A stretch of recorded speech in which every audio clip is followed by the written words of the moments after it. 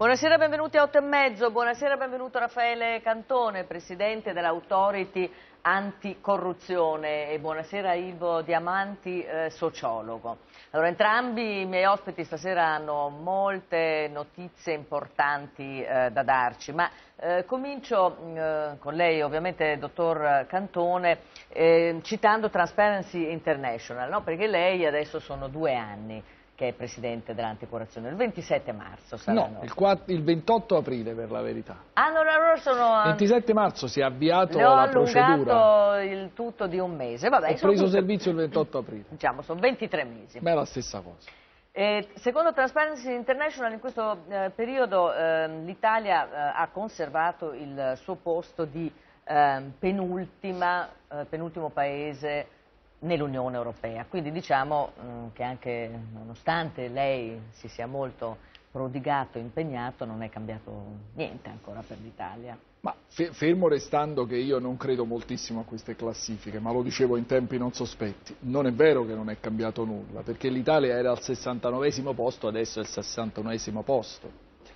È la prima volta forse nella storia del nostro Paese che l'Italia scala otto posizioni è un piccolo passo avanti, ma è un piccolo passo avanti che si verifica in un anno in cui ci sono state indagini pesantissime, l'indagine della Procura di Roma Mondo di Mezzo che ha scoperchiato una delle vicende più gravi ed è un fatto noto che in genere tutti i paesi nei quali ci sono indagini sulla corruzione arretrano. Se vede la classifica del Brasile avrà la riprova, il Brasile ha perso oltre 20 posizioni con mm. l'indagine mm. Petrobras. Quindi insomma è migliorata l'Italia da quando c'è lei sul fronte della corruzione? Quantomeno non è peggiorata, ma no. io non mi sarei assunto né il merito del miglioramento né mi assumo il merito del peggioramento. Professor Diamanti, lei ha qualche dato in proposito dall'alto dei suoi osservatori europei, italiani?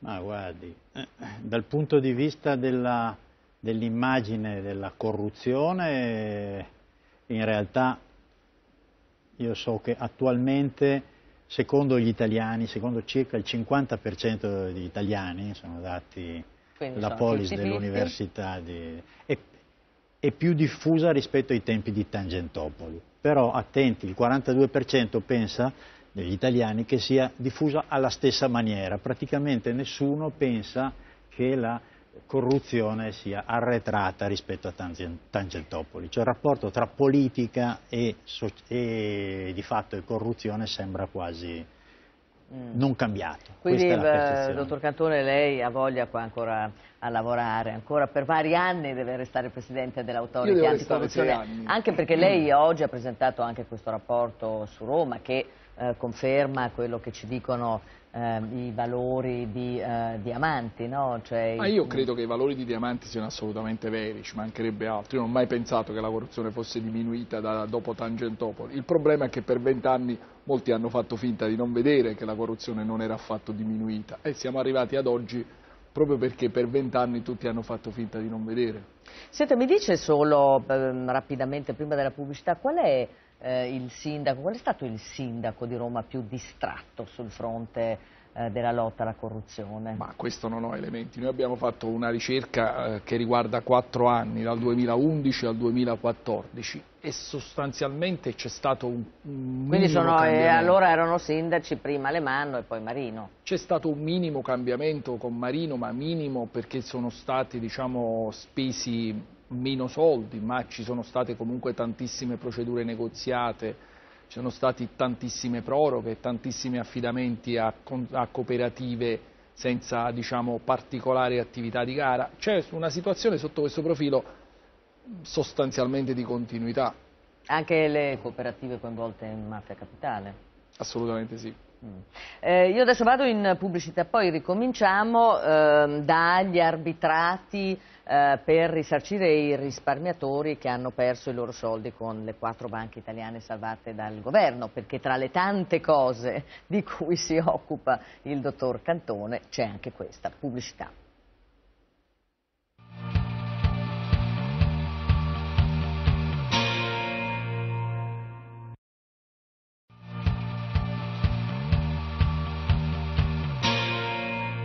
Dottor Cantone, quando comincerà l'arbitrato per risarcire i risparmiatori che hanno perso i loro soldi con queste quattro banche, famose banche, salvate dal governo? Quando ci sarà il decreto del governo. E perché non c'è ancora il decreto?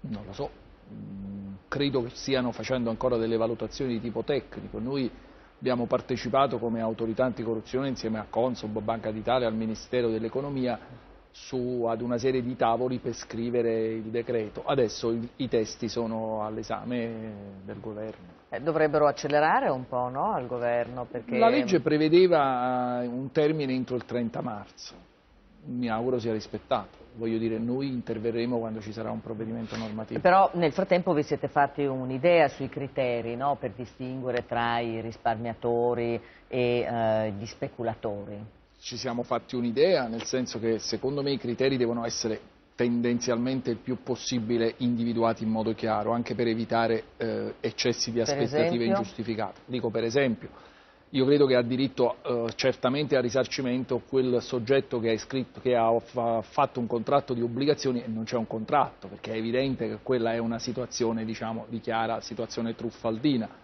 eppure ci sono operazioni di questo tipo, oppure quando c'è diciamo, un unico investimento nel settore obbligazionario di un soggetto che fino a quel momento ha investito tutte le attività eh, in attività sicure, per esempio in titoli di Stato, oppure quando ci sono elementi che evidenziano diciamo, un'anomalia di quella tipologia di investimento in relazione al portafoglio del soggetto. Io credo che se un soggetto investe in azioni e in quel portafoglio di azioni ci siano anche obbligazioni, questo dal punto di vista della presunzione è ovviamente un soggetto che ha una capacità di investimento diversa da chi ha sempre investito in titoli di Stato. E bastano i 100 milioni stanziati dal governo per risarcire? Ma questo io credo che sia un tema che dovrà essere affrontato dopo. Mm, credo che i 100 milioni siano un buon punto di partenza, bisognerà capire se nel decreto saranno stabiliti dei limiti massimi a risarcimento, perché qui c'è una norma europea che mh, nella direttiva sulle banche prevede un limite che è quello di 100.000 mm. euro, quindi bisognerà capire come sarà strutturato il decreto. Ma eh, comunque è un punto di partenza 100 milioni? Quindi... Credo di sì, ma questa è una mm. valutazione di tipo politico e non spetta E in base alle verifiche che state facendo sa già dire che percentuale di risparmiatori verrà risarcita? Guardi, su questo ci sono state delle proiezioni che hanno fatto Banca d'Italia e Consob nel, e che, di cui hanno parlato nell'ambito dei tavoli, ma diciamo sono indicazioni numeriche che onestamente mm, non le so dare indicazioni, ma diciamo il tema è che i risarcibili oggetto della, dei decreti saranno coloro che hanno le obbligazioni cosiddette eh, subordinate, quindi obbligazioni meno garantite. Sì e credo che ci sia una tendenziale, una differenza fra i criteri di risarcimento che però porti un range molto elevato di soggetti risarcibili, però con criteri e quantità diverse.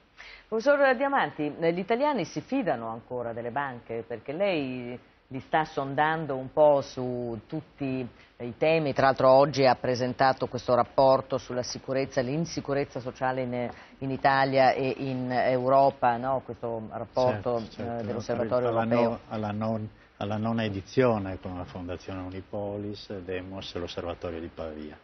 Sulle banche è interessante, cioè, intanto eh, le, non si fidano più delle banche, diciamo così. Il 15% degli italiani afferma, secondo il rapporto sugli italiani e lo Stato, ormai curo da, vent'anni, si fidano delle banche, dicono di fidarsi delle banche, e il 7% in meno rispetto a un paio d'anni. Credo che se lo facessimo adesso sarebbe anche peggio. Però posso aggiungere certo. un'osservazione. Il problema è tanto più serio e eh, grave nel rapporto con le banche perché le crisi a cui assistiamo sono, riguardano non tanto le banche in generale, ma le banche legate al territorio certo, Veneto, le certo, Marche, la Toscana, locali, che erano banche... legate a dei sistemi, a dei modelli produttivi, che a loro volta erano legati a, un'organizzazione un della società, era una reciprocità, erano piccole banche, piccole imprese, rapporto con il piccolo risparmio. Quindi di fatto investono alla radice il nostro modello economico e sociale. Senta, professor Diamanti, siccome eh, il dottor Cantone è un magistrato prestato all'anticorruzione, ma è e resta un magistrato. La magistratura gode ancora di grande fiducia? Guardi, italiani? più delle banche e più dei partiti. I partiti praticamente sono prossimi allo zero. Dato che il più recente che ho io sulla magistratura è il 31% di fiducia, che vuol dire il 20% in meno eh, rispetto a cinque anni fa. Eh, e guardate che io seguo l'andamento perché è assolutamente emblematico, assolutamente emblematico della fiducia nella magistratura, dai tempi di Tangentopoli. Allora avevano e godevano di una fiducia totale, erano eh, posso dirlo, i giustizieri più che gli uomini di Quindi, giustizia. Ma praticamente non si fidano di nessuno oggi, gli Beh, italiani o di chi si fidano? Del Papa, eh, del... del Papa, delle forze dell'ordine, della scuola, della scuola e dei professori continuano a fidarsi. E dopo si scende il Presidente della Repubblica, la Chiesa molto meno del Papa, gli italiani hanno un deficit di fiducia notevole. Però no? il Papa è, sovrasta tutto. Sì, ma guardi che sette italiani su dieci dicono che non si fidano mica tanto neanche di quelli che incontrano, perché potrebbero fregarli. Cioè c'è un deficit di fiducia che è molto elevato e questo è un problema non soltanto per le istituzioni, per le banche, per i magistrati, ma per la nostra società. Questo è un problema anche per il suo lavoro, no, dottor Cantone? Eh, no? Certamente, io credo che questo sia il principale problema, la mancanza diciamo, di quel capitale sociale che rende i cittadini anche disponibili a collaborare. Io credo che molto spesso la maggior parte dei cittadini sono persone per beni ma lavori, abbiano mentalmente l'idea che è meglio farsi gli affari propri, è meglio tutto sommato non preoccuparsi e non intrigarsi più di tanto di quello che fanno gli altri di stare a guardare fermo restando che poi si è eh, diciamo, molto critici quando si tratta di giudicare gli altrui comportamenti, cioè critico ma non faccio.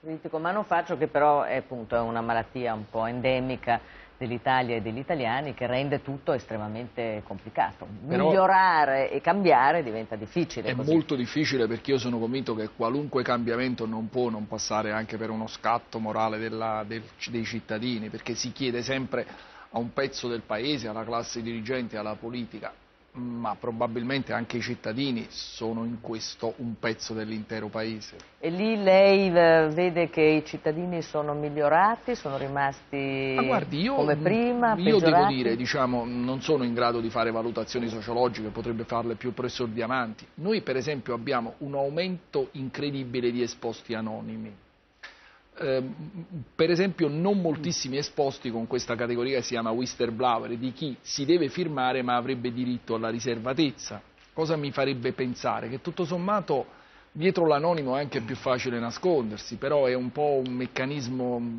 di un cittadino che utilizza eh, nascondendosi. Quei meccanismi di collaborazione che negli stati anglosassoni funzionano, per esempio il whistleblower da noi fanno ancora fatica a prendere piede, sicuramente ci sono problemi legislativi, però questo è quello che dice il professor Diamanti, una carenza in generale di fiducia da parte del popolo. E, e poi c'è forse anche il problema, professor Diamanti, che una seria lotta all'evasione fiscale, alla corruzione, costa un sacco di voti. Quanti voti costa? Ma sa, eh, Lì bisogna un po' intendersi, nel senso che l'evasione fiscale è condannata, ma allo stesso tempo l'evasione fiscale rientra nella categoria dell'autodifesa, della legittima difesa nella percezione pubblica. Perché? Perché se io non ho fiducia dello Stato e lo Stato non ha fiducia di me, si instaura una, un circuito vizioso eh, all'interno del quale lo Stato eh, cercherà sempre di più metodi, anche, cioè io ti tasso di più perché so che se puoi se poi evadi. evadi. E io evado perché ti considero uno Stato vessatorio e proprio per questo considero l'evasione una sorta di legittima difesa. È, è sull'orlo della disperazione, dottor Cantone? Assolutamente no, no assolutamente, non ci penso nemmeno. Lei è molto combattivo e eh, tra l'altro viene chiamato in causa praticamente per ogni urgenza, per ogni emergenza. Su Twitter c'è un hashtag eh, di grande successo, ci pensa Cantone. Allora le, le, vorrei far vedere che cosa ha detto eh, di lei recentemente da noi Marco Travaglio. Guardi che Cantone sia diventato il eh, refugium peccatorum, nel senso che quando non si sa più che cosa fare c'è sempre Cantone, è inquietante, nel senso che adesso la crisi della Roma prima o poi verrà risolta da, da Cantone, la Roma Calcio verrà risolta da Cantone, poi la crisi del Milan, poi gli daranno il mm. Festival di Sanremo, eh. è, è diventato un po' una barzelletta questa cosa di candidare Cantone, Cantone dappertutto. salva la patria. Indica diciamo una una certa carenza di classe dirigente e nello stesso tempo una carenza di figure affidabili e spendibili. Meno male che c'è Cantone che però a un certo punto non andrà più nemmeno a dormire.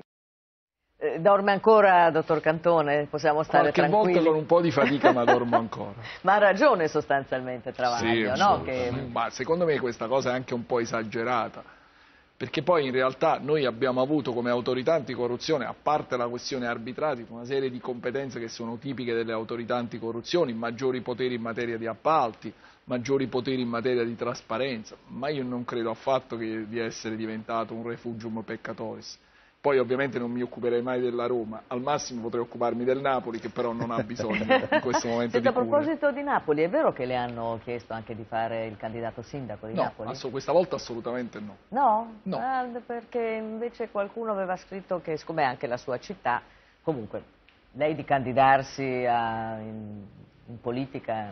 Non ci penso proprio. Non ci pensa nemmeno. Eh, professor Diamanti, in Italia c'è più voglia di giustizieri o di giustizia? In realtà la legalità è una domanda implicita nella società, dopodiché eh, la ricerca del giustiziere è la scorciatoia, eh, anche e soprattutto, devo dire, in tempi nei quali i giustizieri hanno successo perché eh, sono mediatici. È il problema in generale della... cioè la, fi la fiducia eh, è poco mediale eh, la sfiducia molto di più, eh, la generosità è poco eh, spendibile sul piano del consenso. Eh, diciamo che la paura e invece la sfiducia e funziona di più. Pensiamo un po' in questi ultimi anni gli attori politici, che io definisco gli imprenditori politici della paura, che successo hanno avuto, non solo in Italia, un po', un po dovunque. Un po' dovunque. Allora, sotto questo profilo bisognerebbe cominciare a interrogarsi sull'utilità di un marketing della fiducia e di un ecco. marketing ecco. della generosità. O, o, e, e, non Ma voglio scusi... fare il buono di professione. Eh. Ma le primarie possono servire per ehm, instaurare mh, un rapporto più di fiducia tra politica e cittadini? Perché per questo sono state istituite, no? Le primarie sono state istituite esattamente per questo all'indomani di un eh, problema grosso a cui abbiamo assistito, che è quello del cambiamento della, del rapporto tra politica e società e della crisi dei partiti di massa per cui le primarie hanno anche incontrato, gran, hanno pro, prodotto una grande mobilitazione sociale. Ecco, però sono entrate un po' in crisi, vero dottor Cantone? Perché lei ha detto che votare alle primarie è come votare alla bocciofila nel senso che non si può poi fare ricorso alla magistratura Io ho, fatto, eh, ho utilizzato un paradosso, cioè nel senso che nel nostro sistema le primarie sono un sistema privatistico, che vengono organizzati dai partiti con le regole proprie dei partiti e diciamo eh, il paradosso è quello di, di, considerarlo alla pari di una qualunque associazione e ho per paradosso no, detto certo. la bocciofila, sì, ma, però la, così, differen però. Eh, ma la differenza è che alle primarie si scelgono eh, persone che poi gestiranno il Ma potere, gestiranno le amministrazioni. E io infatti sono dell'idea che le primarie sono uno strumento troppo importante per non dover essere regolato. Senza e dovrebbe mettere... essere regolato per legge? Secondo me sì, ovviamente senza eccedere, perché a me l'idea che ogni meccanismo sociale debba essere regolato per legge non mi entusiasma, però ci, posso, ci può essere una cornice entro la quale si muove l'autonomia dei partiti spesso le primarie in molte realtà diventano persino più importanti rispetto alle elezioni successive che qualcuno ha chiamato molto bene secondarie, perché mm, per esempio le primarie che sono state fatte per il Parlamento, tu una volta che hai vinto le primarie sei stato messo in una posizione e sei stato eletto. Quelle primarie hanno un'importanza fondamentale per eh, l'esito successivo. Spesso in molte realtà vincere le primarie eh, del del sindaco significa quasi sempre essere già stato nominato sindaco. Ma lei ci va per esempio a votare alle primarie? No, assolutamente no. Io non sono mai andato a votare alle primarie perché credo che sia inopportuno per me che facevo il magistrato andare a votare alle primarie. Eh, adesso vi faccio vedere... Io, io, ho votato alle primarie, anche se, anche se, non sono iscritto eh, a ma partiti. Ma lei è sociologo, non è No, ma sono politologo. Politologo. cioè insegno scienza, scienza politica. Ci ho detto io considero le primarie, per, esam- per esempio, assolutamente, eh, Parisi le chiama il rito fondativo, il mito fondativo del Partito Democratico. Io sono assolutamente convinto che sia vero. Anche se poi succedono dei pasticci, come per esempio ma, a Napoli, come eh, a ma, Roma. Ma questo è un problema di rapporto tra società e politica, cioè io devo interrogarmi io stesso sul mio rapporto con la società, cioè non è che prima dove adesso le primarie sono inquinate i partiti fossero puri e garantissero la, la, la, la, qualità, la, qualità, dei candidati. Scusate, in realtà sono state scelte esattamente le primarie come un modello alternativo a partiti che erano considerati ormai talmente legati alla società da esserne dipendenti e succubi anche nei lati più negativi. È d'accordo, dottor Cantone? Assolutamente sì. No, non mi pare che il tema, per esempio, delle primarie in alcune realtà sia molto diverso, per esempio, da fenomeni di voto di scambio che si verificano anche nelle elezioni vere e proprie. Il tema vero è che però teoricamente questi meccanismi sono in qualche modo regolabili o regolati quando si tratta di elezioni vere e proprie, assolutamente non regolati quando si tratta delle primarie. E, mh, credo che sia, diciamo, quello che dice il professore assolutamente vero e sottoscrivibile. Però io al posto di un partito, nel momento in cui le mie primarie sono delegittimate, io stesso mi regolo e io stesso cerco di garantirne... E perché nessuno uh, lo fa il... poi alla fine? Eh beh, pagheranno. Io sono convinto di questo. Cioè, nel momento in cui il, il, mio meccanismo, il mio processo di selezione alternativo a quello tradizionale produce degli effetti non credibili, i riferimenti sono assolutamente non casuali, beh, i cittadini ci penseranno tre volte per eh, utilizzare il loro voto in favore, lo useranno per sanzionare. A quel punto io, partito, per primo avrò il problema di regolarmi però non sarebbe il caso di, proprio perché le primarie sono uno strumento così importante, di non attendere l'autoregolamentazione, anche perché l'autoregolamentazione, ripeto, io non sono un amante della legge a tutti i costi, ma l'autoregolamentazione che sanzione porta? Alla fine c'è Quindi un in questo caso lei è a favore di una legge che regolamenti le primarie, sì, certo. non l'autoregolamentazione no. dei partiti? No, io credo che ci dovrebbe essere una legge cornice che consente l'autonomia dei partiti, ma delle regole minime che dovrebbero essere diciamo, stabilite, per, per esempio il rispetto dei risultati delle primarie, perché credo che sia anche ridicolo che qualcuno partecipi alle primarie e un giorno dopo dice no, ma io questo risultato lo metto in discussione. Mm. Credo che Quindi Bassolino sbaglia a fare ricorso? Ma io non sono, non sono, in grado, onestamente non conosco le vicende in modo molto relativo, Bassolino se fa ricorso è giusto che faccia ricorso. Il tema è che in un sistema credibile se io faccio ricorso devo credere che il soggetto a cui faccio ricorso sia credibile nella decisione e quindi una volta che ha deciso dovrei, essere, dovrei essere, sicuro di doverlo rispettare. Invece sta sempre più verificandosi che io faccio le primarie, poi le primarie non mi vanno bene, dico vabbè, il risultato non mi piace, ci sono stati brogli. Cosa che in molti casi si è verificata davvero, oppure il tipo sono andati a votare le persone dell'altro lato. E allora bisognerebbe stabilire delle regole in anticipo, cioè che chi vota per esempio fa parte di un albo. Dico per dire, ci sono tante certo, piccole certo. regole che però andrebbero stabilite prima per poter vincolare anche dopo i risultati. Allora vi faccio vedere il punto di Paolo Pagliaro, perché a proposito di anticorruzione, oggi la Lombardia ha deciso di farsi l'anticorruzione in casa. Guardate.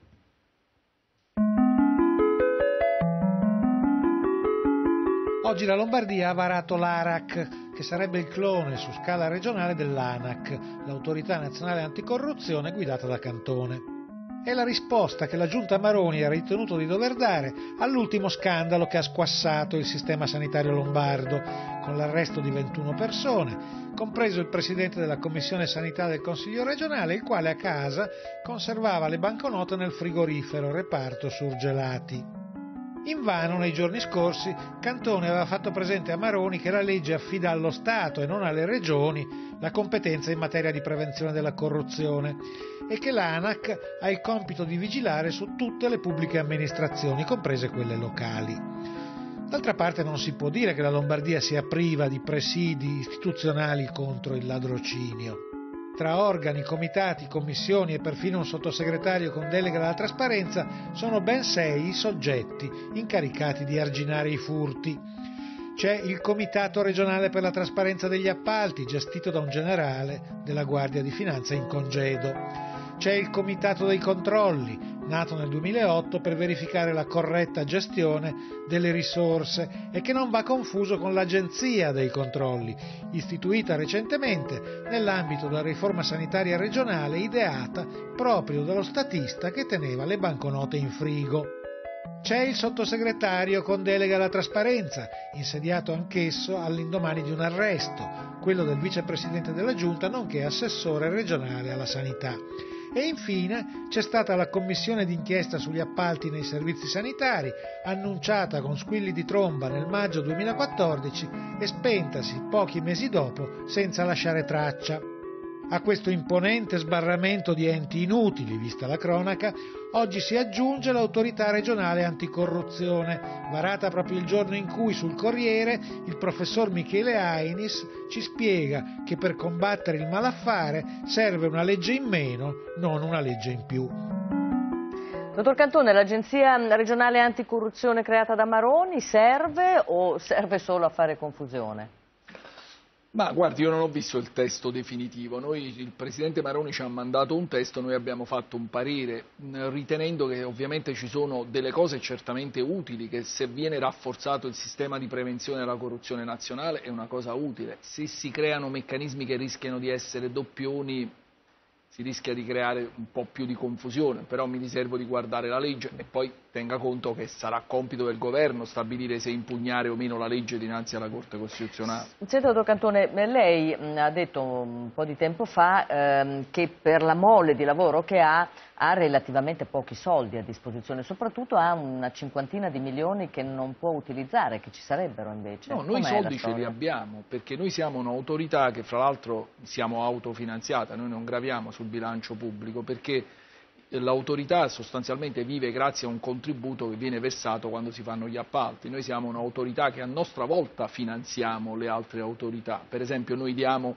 2 milioni ad un'altra autorità indipendente e 300 mila euro a un'altra autorità indipendente. Solo che per una legge del 2014 noi abbiamo degli obblighi di fare dei risparmi che avevano un senso in quel momento storico, forse adesso hanno meno senso. Noi dobbiamo essere messi in condizione di spendere i soldi che abbiamo. Ma e quindi questi 50 milioni quando è che mm, comincerà a spenderli? Quando avremo una norma che ce lo consente. Io di questa vicenda ho parlato col governo, ho parlato col mm, Presidente del Consiglio che mi ha assicurato che troveranno una soluzione. E la prima cosa che farà una volta che le avrà a disposizione? Ma io credo che sia opportuno fare dei concorsi, noi abbiamo una carenza di organico, sarebbe bello anche poter consentire a dei giovani laureati di poter partecipare a dei concorsi, mm. eh, diciamo, giovani laureati anche molto motivati. Noi abbiamo una quantità enorme di persone che si offre anche gratuitamente a lavorare per noi. Sarebbe un bel segnale poter assumere 10-15 ragazzi con un concorso, ovviamente fatto dall'anticorruzione. Senta, dottor Cantone, lei ha diffuso appunto oggi il suo rapporto sul disastro di Roma, eh, su appalti e eh, corruzione. Il PD quanto è stato connivente con questo Guarda, sistema magico? Onestamente la valutazione sui partiti politici, non, noi non abbiamo fatto una valutazione sulle questioni corruzione, noi abbiamo fatto la valutazione sul rispetto delle regole degli appalti negli ultimi quattro anni. Ora, non c'è una diretta dipendenza fra mancato rispetto delle regole e corruzione. Molti appalti sono stati irregolari anche per incapacità, molti appalti irregolari sono stati tali anche per disorganizzazione o anche perché c'è un andazzo generalizzato. Questo non significa che tutti gli appalti irregolari sono stati sinonimo di corruzione. È chiaro che lì dove c'è un alto livello di irregolarità, lì dove ci sono tante proroghe, lì dove non si fanno appalti pubblici, è più facile che si verifichino fatti di corruzione. Eh, professor Diamanti, come stiamo a fiducia nei partiti e la loro lotta alla corruzione? Ma questa è un'indagine del mese scorso, sempre l'Atlante politico di Demos, la domanda era appunto quali fossero, quali siano le forze politiche più credibili sul tema del contrasto alla corruzione 46% degli italiani pensa che non ce ne sia nessuna. Eh, il 26% indica il Movimento 5 Stelle, 10% il Partito Democratico, il 10% la Lega Nord, il 4% eh, Forza Italia. Cioè diciamo eh, che eh, la fiducia nei partiti in generale è bassa, negli specifici partiti resta bassa, e, eh, però nonostante tutto, mettiamolo mettiamolo in questi, in questi termini, eh, l'atteggiamento degli italiani proprio per questo vira eh, nell'antipolitica, quel che suol dirsi antipolitica, ma questo è un eh. problema, cioè se io per acquisire il mio consenso il consenso per me a mio favore, io partito come soggetto politico, devo utilizzare la sfiducia negli altri, diventa un meccanismo valanga. Diventa un meccanismo tremendo. Intanto, ultima domanda, eh, dottor Cantone, perché eh, lei insieme al Ministro Del Rio avete messo in moto questo nuovo codice degli appalti, no? E lei ha parlato di rivoluzione copernicana, perché? Perché il codice degli appalti contiene tantissime interessanti novità. Prima di tutto è un codice con leggi più semplici, più chiare, con molti riferimenti anche a normative diciamo, secondarie di cosiddetta soft law. È un codice che, che, prova anche a fare una scommessa per certi versi difficili, per esempio a credere che la pubblica amministrazione sia in grado di fare una serie di attività, anche consentendo una maggiore discrezionalità. Il vecchio codice era dell'idea che le pubbliche amministrazioni non si dovessero muovere perché erano pericolose. Non abbiamo evitato la corruzione, non abbiamo fatto i lavori pubblici. Il codice secondo me va nella giusta direzione, però è un pezzo, diciamo, è utilissimo ma è un pezzo, è un pezzo di una macchina sicuramente più vasta e più complicata. Quindi ancora molto lavoro per lei, dottor Cantone, noi la ringraziamo. La Io ringra... credo purtroppo sì. la ringraziamo e ovviamente buon lavoro, eh, grazie eh, professor Diamanti, buon lavoro anche a lei. Sa, il problema eh... finale resta quello che eh, il senso civico dovrebbe, avere, dovrebbe prevalere sul senso cinico, non è ancora così a livello sociale, non solo a livello politico. Eh, vediamo, vediamo cosa succederà. Io intanto mh, sicuramente do la linea a Giovanni Flores.